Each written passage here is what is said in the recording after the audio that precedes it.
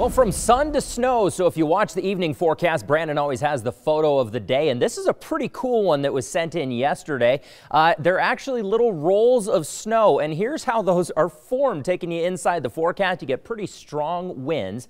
And that again creates these snow rollers. All it does is basically push that little dense chunk of snow along some lighter snow and creates a snowball. Pretty crazy, huh? Waking up to 38 degrees right now in Great Falls, 25 in the capital. Much colder, though, still in northeastern Montana. And the reason for that big stationary front camped out across Montana. That's keeping the cold Arctic air well to our north and east, slightly more mild down to the south and west. Today's high temperatures, again, there it is. That split stationary front keeping the cold air up to the north and east. Teens in northeastern Montana, 28 in Havre, looking at 41 in Great Falls, and a couple of 30s just west of the divide as well. As for your future track today, can't rule out a couple little isolated flurries in northeastern Montana. Really over the next couple of days, every day will present the chance of just some little isolated sporadic flurries making their way throughout the area, but really very little in the way of accumulation, more or less into northeastern Montana. That's where you could see actually maybe a little bit of measurable accumulation there, but pretty minimal with most of the snow staying over the mountains. Today we are talking about wind around 9, 930. We should see that wind ramp up a little bit.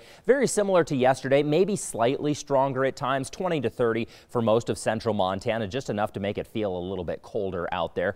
Overnight lows cooling quite a bit, especially again on the high line and northeastern Montana, single digits there, 28 in Great Falls, 31 in the capital, a couple of 30s west of the divide. Tomorrow continuing to regain some strength when it comes to the temperatures, well above seasonal averages in Great Falls, 47, still a little bit cooler though in northeastern Montana, closer to average in Havre, 42 in Lewistown. As we head toward the weekend and through the remainder of the work week here, uh, that stationary front just stays camped out, really doesn't do much for us except keep that colder air to the north and east. We're going to continue to see some moisture try to push in off of the Pacific coast and when that moisture meets up with that colder air mass right along the leading edge is where we'll see the best chance of some of those flurries kicking off. That'll be the case up through the weekend, so really sporadic flurries not out of the question over the next couple of days. Here's how all that plays out on the next seven.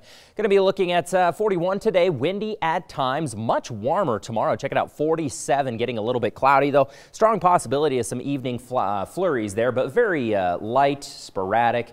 Likely very, very little in the way of accumulation. Same story in the capital, 40 degrees and then a few flurries Friday into Saturday, Keeley.